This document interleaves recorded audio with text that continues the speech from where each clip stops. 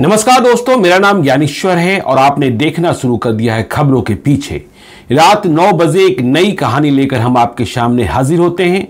अपराध की दुनिया की कई कही अनकही कहानियों में से एक कहानी हम आपके साथ साझा करते हैं। तो देखिए, आज खबरों के पीछे का एपिसोड नंबर 423 है। देखिए, पिछले कई महीनों से मैं अपने दर्शकों का एक संवाद लगातार सुन रहा हूँ, पढ़ रहा हूँ। वे बार बार कह रहे थे, शहाबुद्दीन की कुछ और बातें बताएँ। शहाबुद्दीन कौन? आप जानते हैं। शहाबुद्दीन की मौत पिछले साल किन परिस्थितियों में हुई, यह भी आप जानते हैं। शहाबुद्दीन शिवान के पूर्व सांसद। वे क्या थे, यह आप समझते हैं और पूरा इतिहास सभी को पता है। शहाबुद्दीन के संबंध में जितनी कहानियाँ हमने बताई है, एक बहुत ही लंबी श्रृंखला चलाई थी और ऐसी ऐसी कहानियाँ सुनाई जो उनके करीबी तक नहीं जानते थे, बहुत करीबी तक नहीं जानते थे। फिर भी दर्शक डिमांड करते रहते हैं और दर्शकों की बात हमें सुननी होती है। देखिए, शहाबुद्दीन को कहने वाले लोग सिवान के कहा करते थे, लॉर्ड ऑफ़ सिवान। कुछ लोग, सुल्तान ऑफ़ सिवान भी कहा करते थे। खैर ये किस्से कहानी अब बंद हो चुके हैं। सिबान में नई फिजा है। सिबान में शहाबुद्दीन के परिवार की अब कितनी चलती है, यह तब तय होगा जब कोई नया लोकसभा चुनाव या विधानसभा चुनाव होगा। देखिए, शहाबुद्दीन की मौत के बाद उनके समर्थक आज भी मानते हैं कि शहाबुद्दीन की जिन परिस्थितियों में मौत हुई, वह स्वाभाविक नहीं थी। अननेचुरल था और वे जाँच की मांग करते रहते हैं। शहाबुद्दीन के परिवार में उनकी मौत के बाद शहनाइयाँ बजी हैं। उनकी पत्नी हीना साहब ने जो पारिवारिक जिम्मेवारियाँ हैं, उन्हें संभाल लिया है। उनके बेटे ओसामा साहब वे भी एक्टिव रहते हैं, लेकिन अभी कोई पॉलिटिकल एक्टिविटी किसी लक्ष्य तक नहीं पहुँची है। यह बात भी सच है। और विवाद और शहाबुद्दीन दोनों का चोली दामन का रिश्ता रहा है। सो, इसका पिंड अब भी नहीं छूटता है। पिछले दिनों शिवान में जब अयूब रईस ब्रदर्स में से एक पर गोलियाँ चली, तब शहाबुद्दीन के बेटे ओशामा साहब का नाम उसमें लिखाया गया। इसके बाद तो हीना साहब बिल्कुल ही बिलक पड़ी थी और कह रही थी, क्या सिवान छोड़ दें? देखिए, बिहार में जब कभी एमएलसी और राज्यसभा के एमपी के उम्मीदवारी की चर्चा होती है राजद से, तब तब हीना साहब का नाम सामने आता है, लेकिन अब तक टिकट की प्राप्ति नहीं हुई है। कहा यह भी जाता है? कयास यह भी लगाया जाता है कि राजद परिवार से रिश्ता, लालू यादव से रिश्ता इसमें थोड़ी दूरी आई है। लालू यादव से दूरी आई कि नहीं आई, तेजस्वी यादव से दूरी की बात सभी स्वीकारते हैं। लेकिन यह तब तय होगा जब कोई विधानसभा का चुनाव और लोकसभा का चुनाव संपन्न होगा। देखिए, कयास लगाने वाले कहते हैं नीतीश कुमार से संबंध। देखिए, नीतीश कुमार से शहाबुद्दीन का तो कभी संबंध रहा ही नहीं। हमेशा छत्तीस का रिश्ता रहा। यह सच है कि जब शहाबुद्दीन की मौत हुई दिल्ली में तो संवेदना व्यक्त करने वालों में सबसे पहले नीतीश कुमार थे। वे चाहते थे कि शहाबुद्दीन का शव बिहार आ जाए, जैसा उनके परिवार वाले चाहते थे। इसके लिए दिल्ली में बिहार निवास में बैठने वाले बिहार के रेजिडेंट कमिश्नर को कहा भी गया था, लेकिन यह संभव नहीं हो पाया था।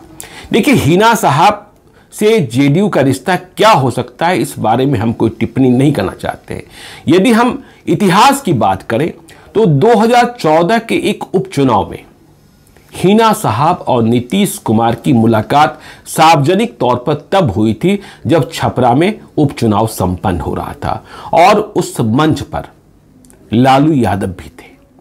हिना साहब से गुफ्तगु हुई, लेकिन उस गुफ्तगु को याद करने वाले लोग कहते हैं कि नीतीश कुमार बहुत सहज नहीं थे। तो देखिए, चलिए हम जब हमारे दर्शक कह रहे हैं कि कुछ कहानियाँ और बताएँ शहाबुद्दीन की। तो देखिए, हमने अपनी कहानियाँ तो बताई ही हैं। आपने खबरों के पीछे के यदि पुराने एपिसोड देखे होंगे, यदि आप आज भी तलाशेंगे तो बहुत सारी कहानियाँ हैं। तो आज हमने सोचा कि दूसरों ने जो अनुभव किया है और जो बताया है, वह भी आपको हम बताएँ कि और किसने किसने शहाबुद्दीन के बारे में क्या क्या लिखा। देखिए, संतोष सिंह बिहार के जाने माने पत्रकार हैं।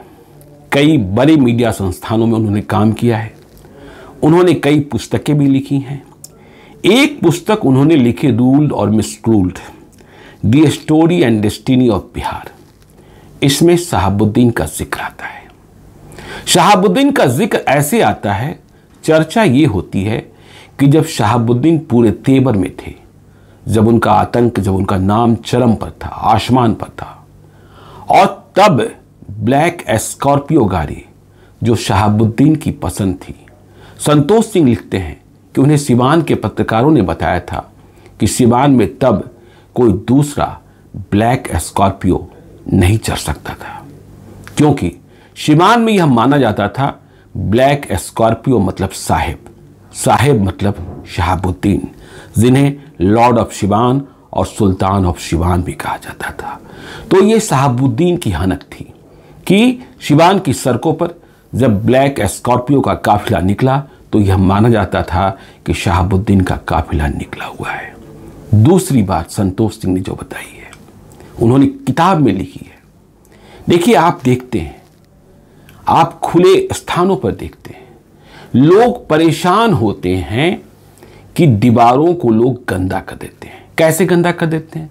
थूक कर, या वहाँ पेशाब कर देते हैं। और इसे रोकने को क्या क्या प्रयास नहीं किया जाता है? नोटिस चस्पा किया जाता है, कार्रवाई की धमकी दी जाती है, दंड की बात की जाती है। कुछ नहीं माने, इतना पर भी न माने तो भगवान की तस्वीरें लगा दी जाती है। संतोष सिंह ने अपनी किताब में एक जगह ज़िक्र किया है। देखिए हम उनकी लाइन पढ़ते हैं। There was a time when people could not dare to urinate in the direction of Shahabuddin poster even for a remote distance कहने का आशय यह है, यदि हिंदी में समझाएँ, कि शहाबुद्दीन की तस्वीर शहाबुद्दीन का पोस्टर जहाँ शिवान में लग जाता था, जिस दीवार पर लग जाता था, उधर दूर से भी कोई पेशाब करने की हिम्मत नहीं करता था। तो शहाबुद्दीन की हनक ये थी। शहाबुद्दीन का खौफ ऐसा था कि जहाँ शहाबुद्दीन की पोस्टर, उधर कोई गंदा कर ही नहीं सकता था, खड़े होकर पेशाब कर ही नहीं सकता था। तो ये शहाबुद्दीन की धौस थी, शहाबुद्दीन की ज़िंदगी थी। देखिए, उन्होंने एक और ज़िक्र किया है, इस कहानी को मैं भी जानता था। सुरेंद्र किशोर बिहार के बहुत ही बड़े पत्रकार हैं। इंसाइक्लोपीडिया ऑफ़ बिहार जर्नलिज्म कहा जाता है। और कई मीडिया संस्थानों में उन्होंने काम किया है। साल 2003 में वे हिंदुस्तान अखबार, पटना के हिंदुस्तान अखबार में पॉलिटिकल एडिटर थे, राजनीतिक संपादक। तब पता नहीं कहाँ से यह इंटेलिजेंस इनपुट आ गई कि सुरेंद्र किशोर की जान पर खतरा है। वे बहुत सामान्य तरीके से जीने वाले हैं। बहुत कम सुविधाओं की चाहत है। तो इंटेलिजेंस इनपुट कि सुरेंद्र किशोर की जान को खतरा साहबुद्दीन से।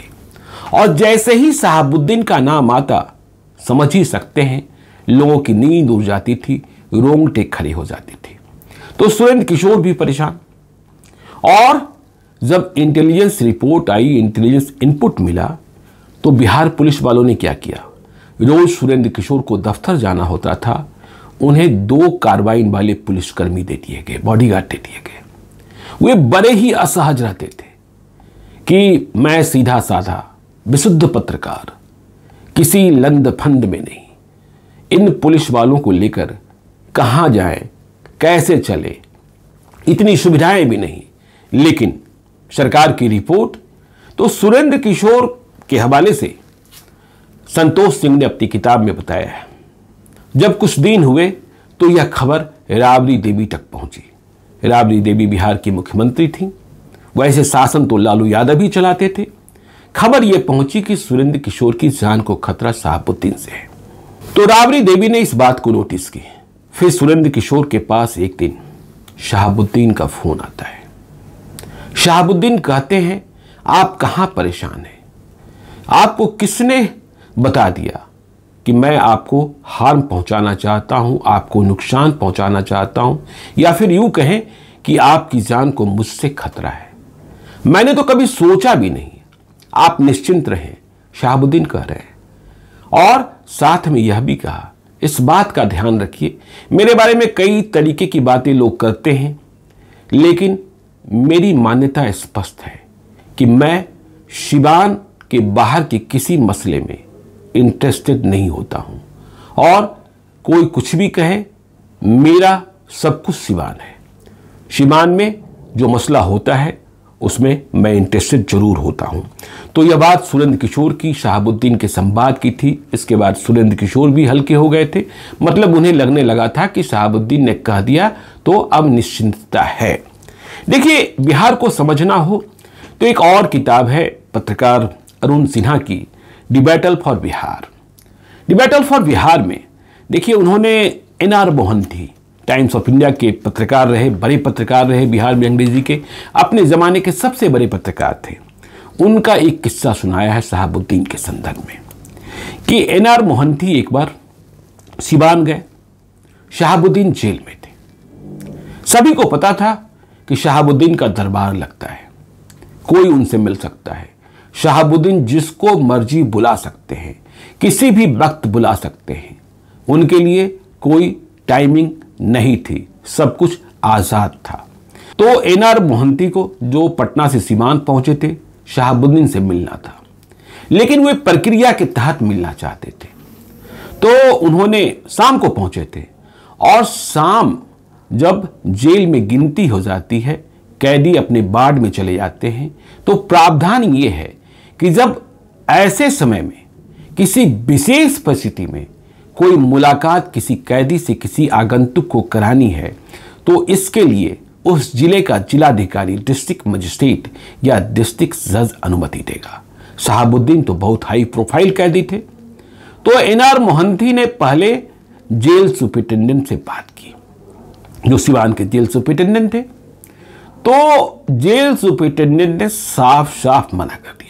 क्योंकि एनआर मोहंती शहाबुद्दीन के समर्थक तो थे नहीं, शहाबुद्दीन ने उन्हें बुलाया तो था नहीं। और जेल सुपरिटेंडेंट ने कहा कि आपको अनुमति लेनी होगी डिस्ट्रिक्ट जज या डिस्ट्रिक्ट मजिस्ट्रेट से। अब देखिए, आधिकारिक ऑफिशियल अनुमति कहाँ मिलनी थी? शो एनआर मोहंती ने अपने सूत्रों का इस्तेमाल किया, अपनी व्यवस्था को देखा, और अपनी व्यवस्था जैसे ही उन्होंने शहाबुद्दीन से मिलने के लिए की उन्हें बुलावा आ गया एनआर मोहंती को कोट करते हुए अरुण सिन्हा ने लिखा है, रात नौ बजे। वे पहुँचे शिवान जेल के भीतर। शिवान के जेल के भीतर, जो जेल सुपरिटेंडेंट का कार्यालय था, वहाँ शहाबुद्दीन मौजूद थे। और शहाबुद्दीन मौजूद कैसे थे, इस बात को भी समझिए। शहाबुद्दीन उसी जेल सुपरिटेंडेंट की कुर्सी पर मौजूद थे, जिसने शाम को शहाबुद्दीन से मुलाकात कराने से एनआर मोहंती को मना कर दिया था। शहाबुद्दीन एक कैदी, लेकिन मौजूदगी जेल के भीतर जेल सुपरिटेंडेंट की कुर्सी पर। एनआर मोहंती ने देखा कि वहाँ सिर्फ़ शहाबुद्दीन ही मौजूद नहीं है। उनके सैकड़ों समर्थक बड़ी संख्या में वहाँ मौजूद है और सभी ज़मीन पर बैठे हैं। शहाबुद्दीन अपनी बातें कह रहे हैं सभी सुन रहे हैं। तो यह मौजूदगी और इनके बीच वह जेल सुपरिटेंडेंट भी बैठा हुआ था, जो एनआर मोहंती से मिलाने के लिए नियम कानून की बात कर रहा था। इतना ही नहीं एनआर मोहंती ने यह भी बताया कि जब वे मुलाकात के बाद जाने लगे तो साहबुद्दीन जेल के बाहर आए। वहाँ तक आए जहाँ एनआर मोहंती की गाड़ी खड़ी थी वहाँ उन्होंने उन्हें शी ऑफ़ किया। तो देखिए, ये एनआर मोहंती की बात। अब देखिए साहबुद्दीन बातचीत में कैसे थे? जब मूड ठीक होता था तो देखिए, यह संतोष सिंह ही ने कहा है कि 2006 की बात है। संतोष सिंह कहते हैं, तब मैं टेलीग्राफ में था। मैंने किसी सिलसिले में शहाबुद्दीन को फ़ोन किया। शहाबुद्दीन के पास फ़ोन तो होता ही था। शहाबुद्दीन ने मेरी आवाज़ सुनने के बाद नमस्ते किया। मुझे कुछ सवाल पूछने थे, लेकिन मैं कोई सवाल पूछ पाता इसके पहले। शहाबुद्दीन ने चर्चा शुरू कर दी, रामायण की, महाभारत की, कुरान की, गीता की, और चर्चा करने लगे इन धार्मिक ग्रंथों में कर्म के बारे में क्या कहा गया है। देखिए, शहाबुद्दीन के बारे में यह सब कोई जानते हैं कि वह जितना कुरान पढ़ते थे, उतना ही गीता भी पढ़ते थे।